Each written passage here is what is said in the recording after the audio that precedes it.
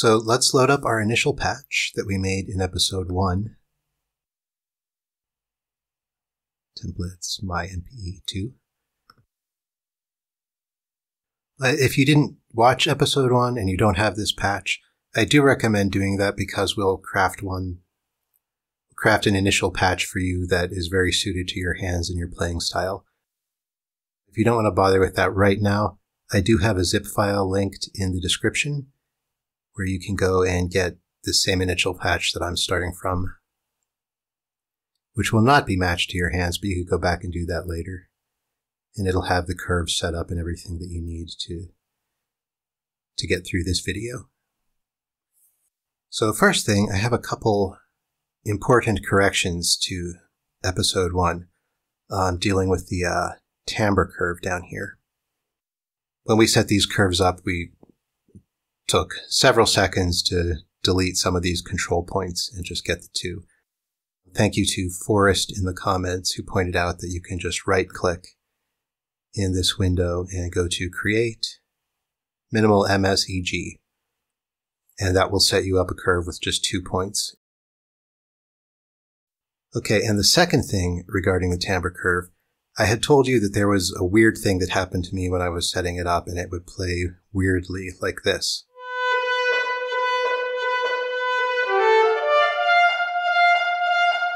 Those strange poppings as it jumps back and forth to the wrong values. Thank you to Kite for pointing out that in that video I forgot to disable this rate. And because I didn't disable it, it kind of obscured the problem. So that sounds better, but it's actually taking away my control because what's happening is it's following this curve in time and not really paying much attention to what I'm doing with my fingers. So the right way to set up this timbre curve is to disable the rate, set the phase to 50%, and the modulation from MPE timbre somewhere around 45. And now we should have a properly playing sound.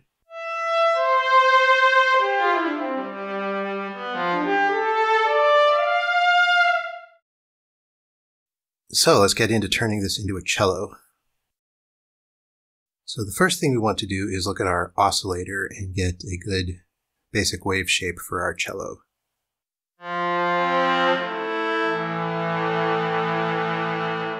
Our sound right now is very brassy, if you recall our rule of thumb, sawtooth wave for brassy sounds, triangle for fluty sounds, and pulse for stringy sounds. And we want a stringy sound here. So I'm going to switch to classic square oscillator. But really the square is just an instance of pulse. So when your positive and your negative durations in this waveform here are equal, then you have a square wave. And when they're unequal, then you get different forms of the pulse. The unequal pulse width is very good for string sounds, but the square wave itself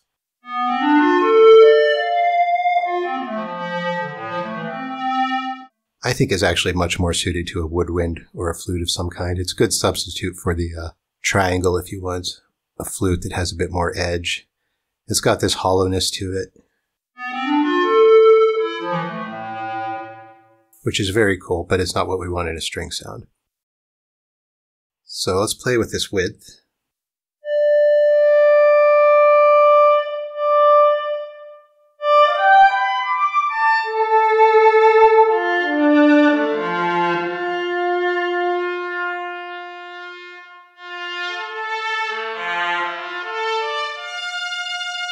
That would be a good trumpet over there.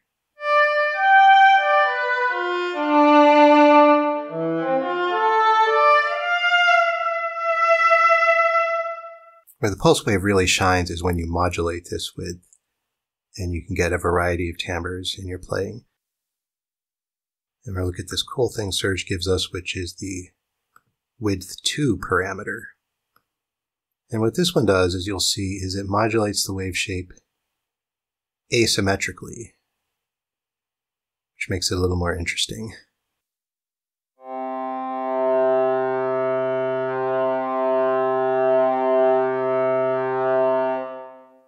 And I found for this sound, what I want to do is have width one somewhere around 35%, width two somewhere around 18%, and modulate that with a timbre curve up to around 50%, a little less.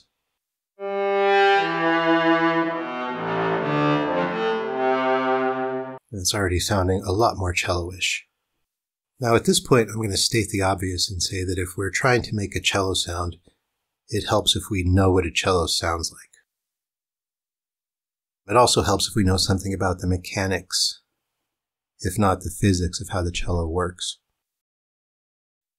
I picked the cello because it's a pretty familiar sound. I think most of us have probably heard quite a bit of it. So we don't really need to go super deeply into research on this. But if you want to get a nice recording of a cello, a solo cello, to use as reference and study it and compare your compare your sound against it, uh, that may be helpful. But I also want to take this moment to say a thing or two about my philosophy of sound design, which you do not need to follow, but it's informing my decisions here and it may be helpful to know how it's doing that. So briefly, my number one rule of sound design is that I'm not trying to trick anybody. I don't really want anyone to believe this is a real cello. That's not my goal. What my goal is, is to get something that can perform the function of a cello and evoke the same kinds of emotions. And I like to think of it as I'm not aiming for a perfect physical reproduction of the cello sound because that's impossible. What I'm doing is I'm aiming at the platonic ideal of a sound of which the cello is only an approximation.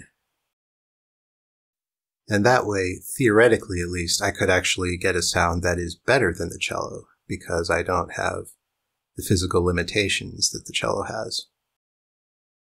That's kind of a blasphemous thing to say because the cello is so awesome, but it's theoretical. And the way I'm going to approach that is by feel. I'm looking for emotional resonances. So when I'm playing my sound, I want to I want to feel the way that I feel when I'm listening to someone play the cello. So I'm not going to get super analytical in, in studying an oscilloscope or a spectral analyzer or anything like that. I'm just going to go by how it sounds and how it feels as I'm playing it. On that said, I do take a lot of inspiration from the physics and the mechanics of how the cello works. And I think the results are going to turn out quite good. All right, with that out of the way, let's go take a look at our filter. Um, we have this filter modulated in our initial patch by the timbre curve. Well, we're not going to do that this time. So let's click that X and get rid of the timbre curve there.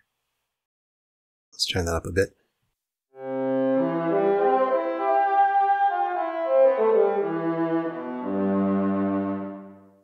Now let's modulate that instead with our pressure curve. Yeah, pretty high.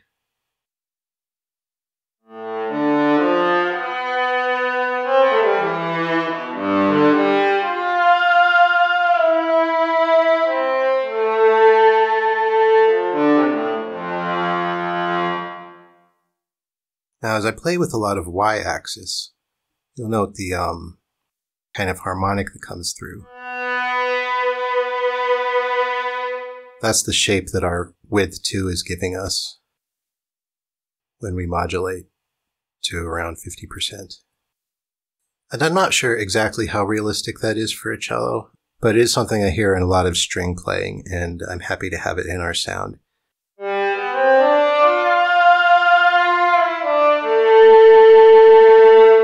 It gets very vocal, like a human voice sometimes.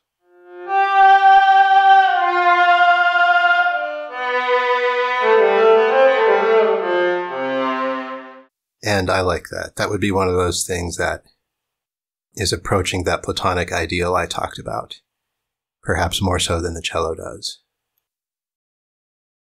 So I was talking to Roger Linn about an earlier version of this sound, and he mentioned that he prefers to use pressure rather than timbre to modulate the filter cutoff. And I will often do it the other way um, for reasons having to do with articulation, which I'll come to at the end. Uh, I think I found a better way to do that now. And so we'll go over that. But I think he's right about this because our general rule is to use pressure to control volume. And if you think about natural sounds, like if you pluck a guitar, it's going to be all bright and buzzy as you pluck it, but as the sound decays, the brightness will decay as well and it'll get more dull towards the end. So I think he's right about that in general, but in particular, I think he's particularly right about that for this sound because I have this harmonic here. And I want to be able to play that delicately and not be screaming and buzzy every time I get there. But at the same time, I'm not entirely happy with how this pressure is controlling the cutoff. Because this pressure curve is calibrated to handle volume exactly as I want it to. And this is not exactly the same way that I want the brightness to go. So what I'm going to do about that is create a second pressure curve. Now let's go over to pressure curve. And if we right click on this, we can copy modulator. And if I come over to LFO3, right click, I can paste. And now I have a duplicate of my pressure curve. And rename it pressure curve 2. And now I'm going to use this one to modulate the cutoff. So get rid of the pressure curve there. Double click on pressure curve 2. Drag that up a good way. And I think I want curve 2 to be shallower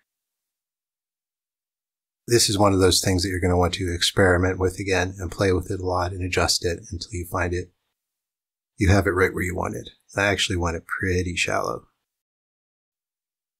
So on pressure curve two, it is forgotten that it's being modulated by MPE pressure. So just set that to 95%. And let's see how that goes.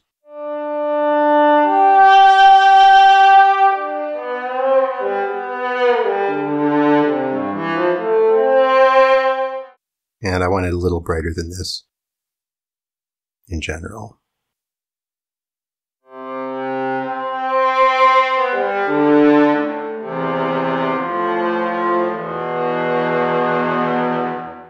And as you're, as you're playing around, you'll want to remember to play chords, which I often forget because I'm a very lead player kind of guy.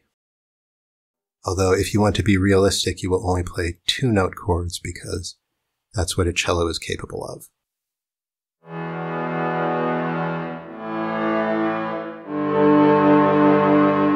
unless there's some strange and crazy cello technique that I'm not aware of that lets you defy physics and play three strings that are in an arc with a bow that is straight.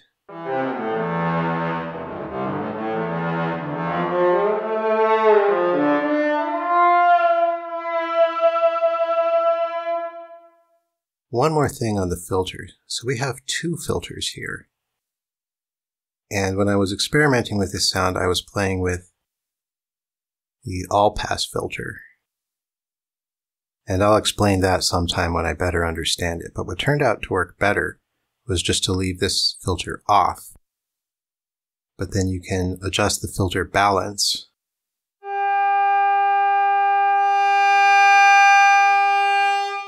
So all the way to the right here, this is an entirely unfiltered sound.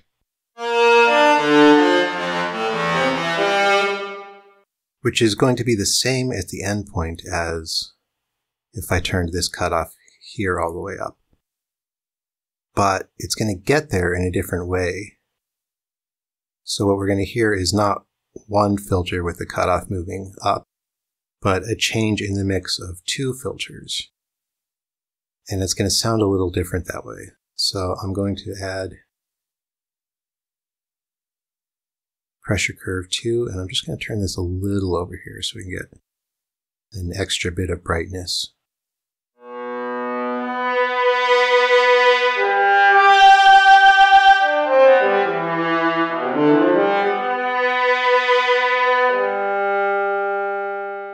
Now, because I have my curve shaped like this, I have to really dig into the uh, to the pads to get that screamy sound. And that's the way I want it because I don't want that screamy sound most of the time. Now, if we think about the instrument we're trying to emulate here, there are kind of three components to the sound. There are the strings, which we can think of our oscillator as the strings. Then there's the bow. We can think of the pressure as representing the bow pressure. And then the third element of the instrument is the body. And the body is not going to be modulated. It's not going to change. The cello doesn't grow arms and walk around when you're playing it. But it does have certain resonances and certain characteristics that we can get closer to. And there are a couple ways to do that. First, I'm going to go over to these effects and I'm going to add an equalizer. And what I'm going to do here is I'm just going to give us an EQ boost at the resonant frequency of the cello body, which I looked up on the interwebs, and that frequency is between 147 and 196 hertz. So let's put that at 172. And then I'm going to turn the gain up 5 decibels.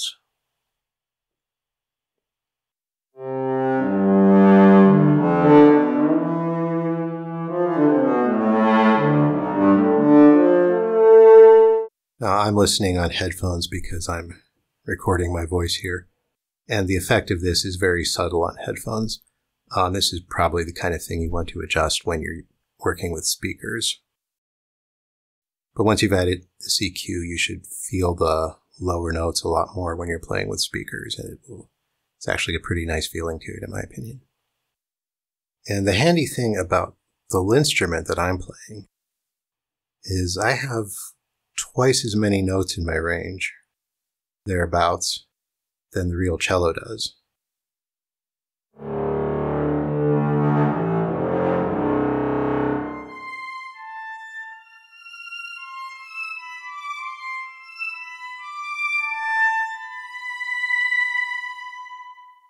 And of course, because we're using a computer, we can just transpose anything.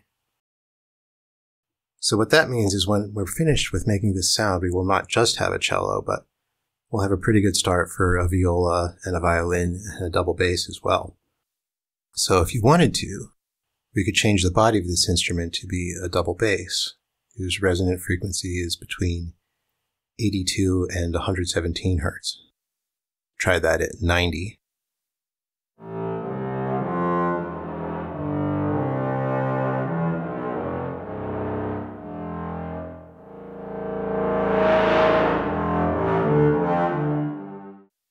Would probably want to adjust the filter there too. And we could be a viola with a range of 350 to 440. Let's set that at 400.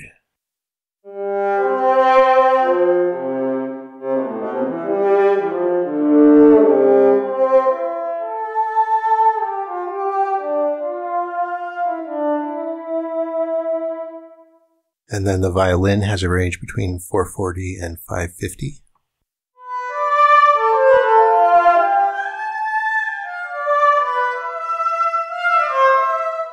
And we can get creative with it too. Like if we wanted to make the world's smallest violin, you drag this up to 10 kilohertz, transpose up good ways.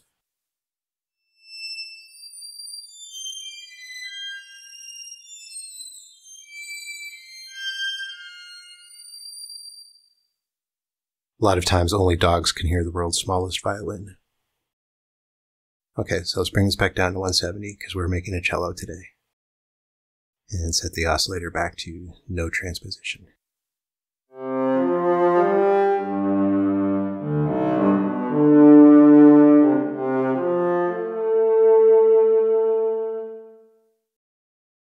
So I think that adds a lot of warmth to the sound.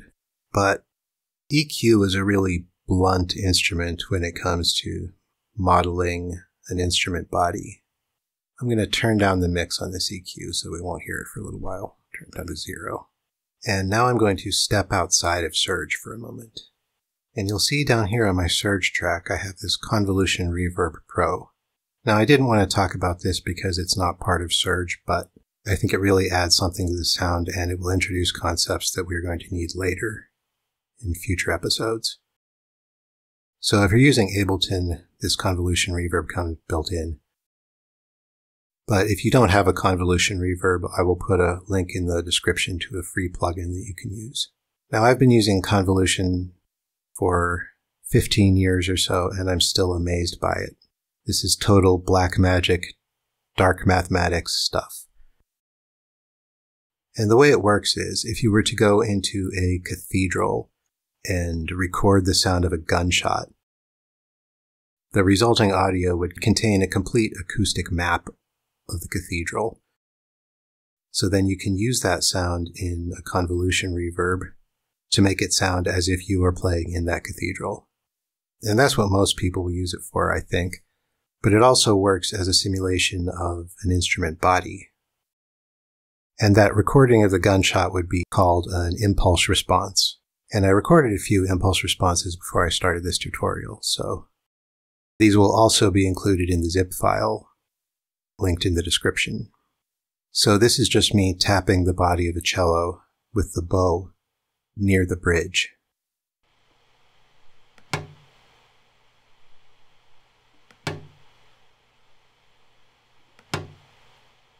And these are me tapping my homemade fiddle thing with sympathetic strings.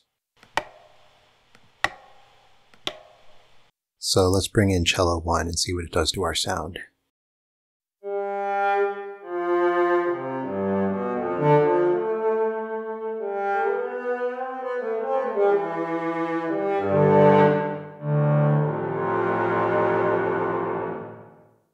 Let's try one of the fiddles.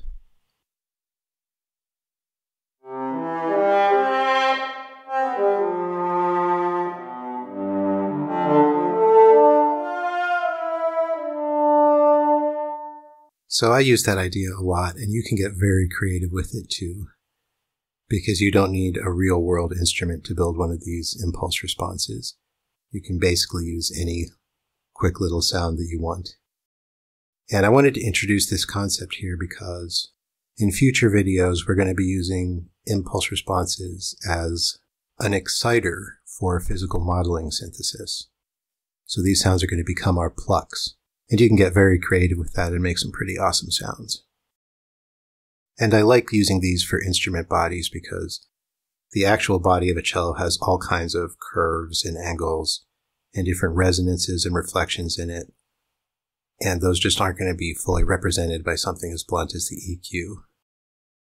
But they're all there in the impulse response.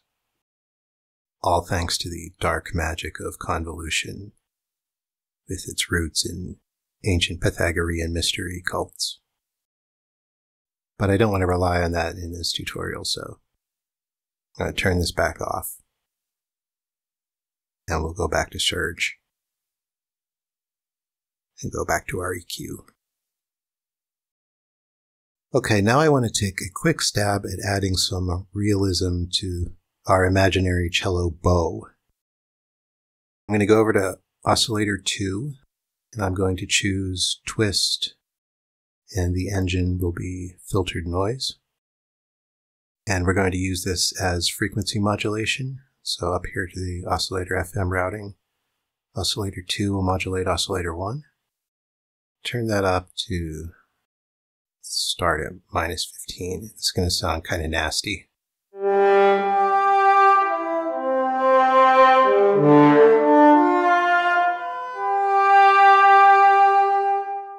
And the point here is to kind of simulate the bow noise as isolated from the string sound. So the way the bow works to vibrate the string is, I think they call it stick and slide as the rosin catches on the string and then lets go and then catches on the string and then lets go in very complex and noisy patterns. So it's going to be minus 15 and I'm going to modulate it with the pressure curve. And as I play with more pressure, I'm going to bring that down, say minus 35, because that, that bow noise is mostly noticeable on recordings, at least when the strings are playing very quietly. And as it digs into the string more, the string sound will overwhelm it. So when we play loud, I don't want to hear that very much at all. And when we play softly, I do want to hear it. So let's see how it sounds now.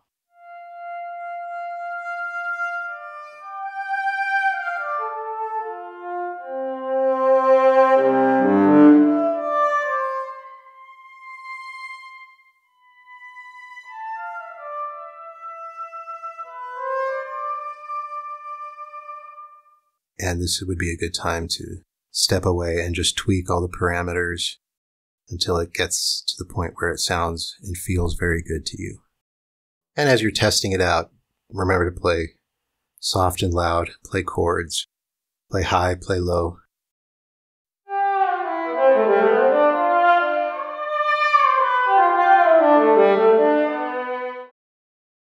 Okay, so that's it for the basic sound.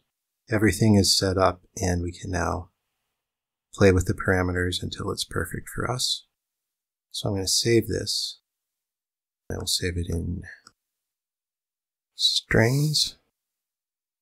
And I'm going to call this thought form basic cello. And that will be in your zip file. And now I want to talk about articulation and the fact that we just made a solo stringed instrument and we have a problem with it.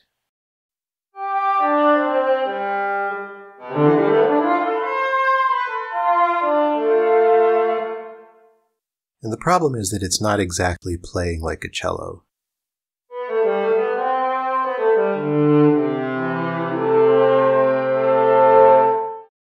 So a cello doesn't really play polyphonically like this.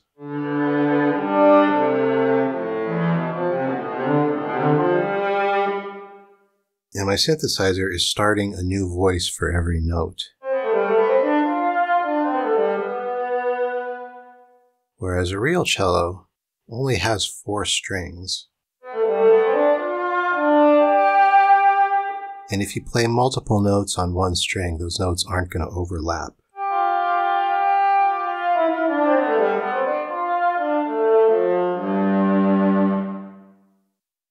Now, it's probably fine if the cello is not the focal point of the piece. But I am actually working on a piece in which I want this cello to be the focal point. And I did say that we're not trying to make an exact duplicate of a cello. So I would just let this go, except it is really cool the way that strings work as far as the articulations of playing a sequence of notes on a single string. How I would set this up in general for my own use is I would use channel per row mode on the instrument, and I would have eight instances of surge, and they would all be mono and not poly. So it would be as though I had a cello with eight strings. But for now, we're just going to focus on the mono mode. So we'll just use one string. Now you can hear the problem.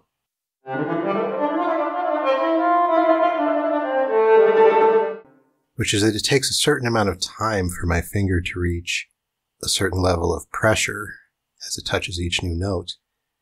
And because we only have one note, we're not slurring the previous note over it to mask that drop in pressure as my finger comes down in the new place. So there's this dead spot that I think of as the sucking sound, which is kind of a lack of a sound between the notes.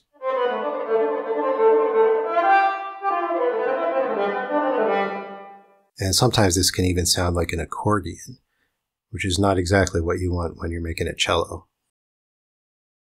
So first I want to think about the mechanics. On the real cello, there's no decrease in pressure when I change notes. Because the pressure is not coming from my finger, it's coming from the bow. And the bow is just keeping a constant stream of energy going into the string. Now, people have come up with all kinds of clever ways around this, um, often using an expression pedal or an extra controller of some sort to provide that constant pressure. But I want to see if we can do it just with our instrument and just with Surge. So for the first time in this series about synthesizers, I think, uh, we're going to use an envelope. And the envelope will provide that constant stream of energy.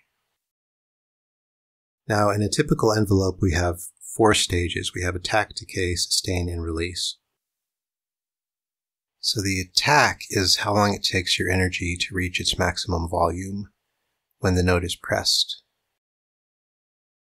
Decay is how long it takes to come down from that maximum volume to the level of sustain, which is an amplitude and not a duration. The sound will sit at the sustain level until you let go of the note, at which point the release is how long it takes your sound to fade to silence once you've released the note. So we're not going to use this envelope right here. We're going to make one with another LFO. So I haven't used LFO 4 yet. Let's take this one and let's rename it bow.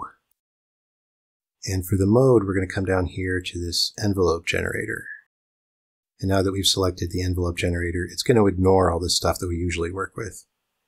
And it's going to use this LFO EG set of sliders over here on the right. And this is pretty much already set up for us. We have the sustain all the way up, and that's where we want it. And what we're going to do with this is we're going to modulate our pressure curve. We're going to modulate both pressure curves.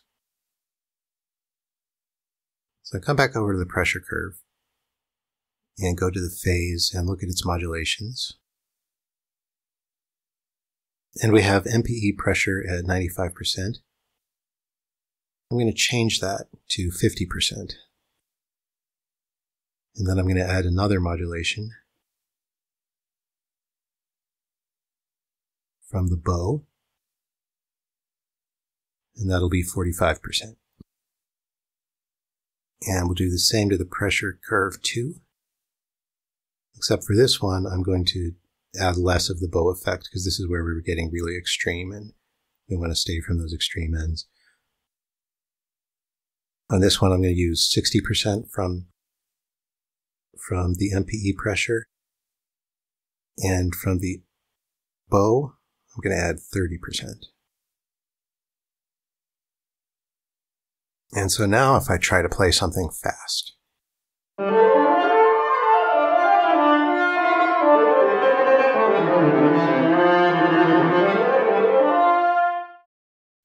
But what I've sacrificed is now I can't play these really slow fade ins and things.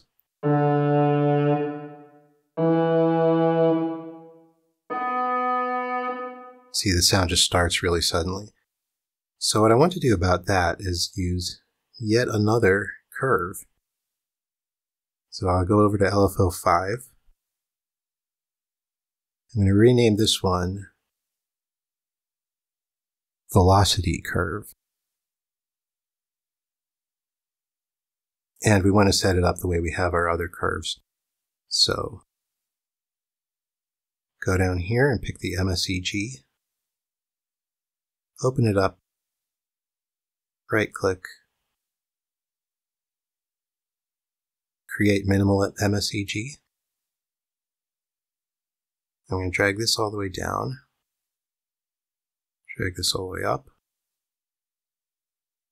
Now this is going to be taking the signal from our velocity, which is how hard we initially strike each note as a separate thing from how hard we're pushing at any time. So this is not pressure, this is velocity. Now what I want to do is have, I want this to have no effect at a certain level of velocity. So I want to have a dead spot in my curve at the beginning here as I play softly. And then I want to bring it up as I play harder. So this way, if I start my note really softly, then the bow envelope will have no effect. But if I strike it a little bit harder, then I'll get this fast play that I just demonstrated. Um, so for this, we need to control this with our velocity, turn the loop mode off, and disable the rate. Remember to do it this time. Okay, and we're not modulating. Oh, we are modulating phase. Sorry. Phase will be modulated with MIDI velocity, 95%. Now if we go back to the bow, we can set its amplitude to zero and then modulate that with the velocity curve. 95%. Okay, back over in the velocity curve, make sure this is set to unipolar. That will matter. So now when I play very softly,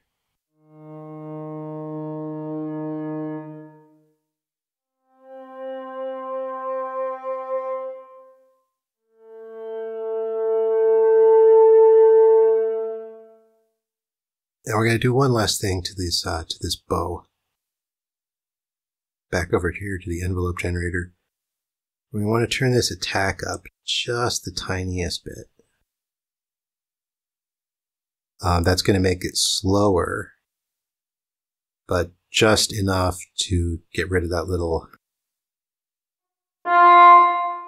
There's like a sharp edge to the beginning of the note. And we just want to soften that just a little bit.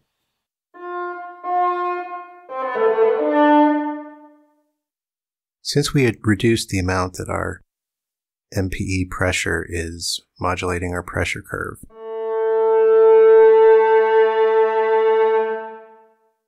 I can no longer get to the maximum point on this curve because the uh, pressure is only taking us halfway and the bow is taking us the rest of the way.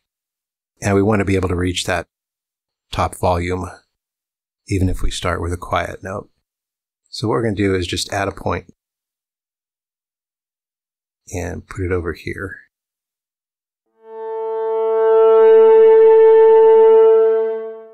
And we need to do the same for pressure curve 2. Now this one we set the, uh, this one's getting 60% from the pressure and 30% from the bow. So we want it to meet, reach the top at about the 60% mark, around there.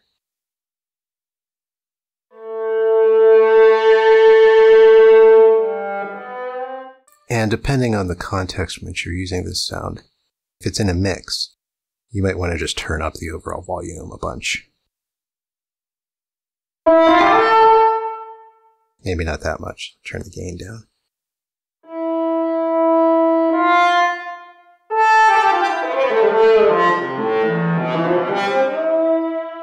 And always with the curves, you want to work with them until you've got them in just the right places.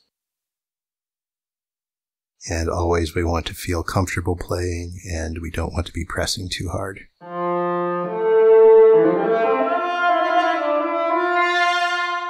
I want to make sure that I can reach that top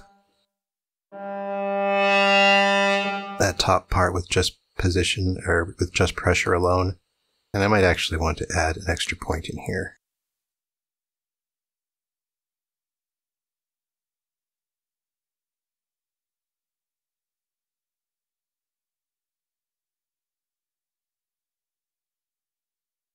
Let's try that.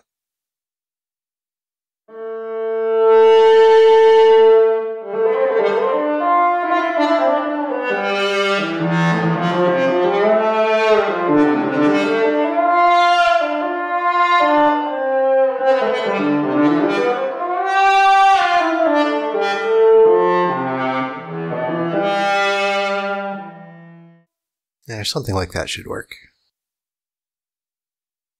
Okay, so play around with velocity curve until it works with your others. It all feels very good to play. Everything sounds the way you want it. Then I'm going to save this. This thoughtForm fast cello. And then through the magic of editing, it will become the one that I'm going to give you in the uh, in the zip file. And okay, I think that's it for our cello. Now you should be able to take this and build some other string instruments with it. One thing you might play with is the oscillator. Instead of this classic pulse wave that they call a square, we could load a wavetable. Surge comes with a built-in cello. If we modulate the morph with our timbre curve, play with that.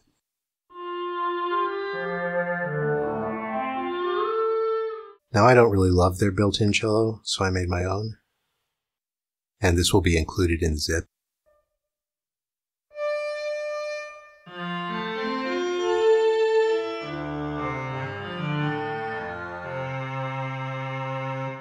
A funny thing about the wavetables, it seems like they're coming in an octave higher than the classic than the classic oscillator was. That's strange. And also, oftentimes the wavetable is not going to have as many harmonics as the raw as the raw pulse oscillator. So you want to turn up the filter.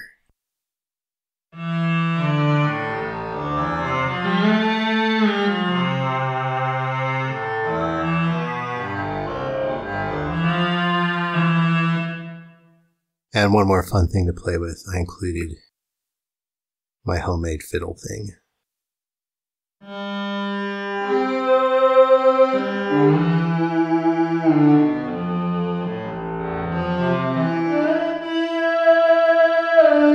That's a very throaty sounding one.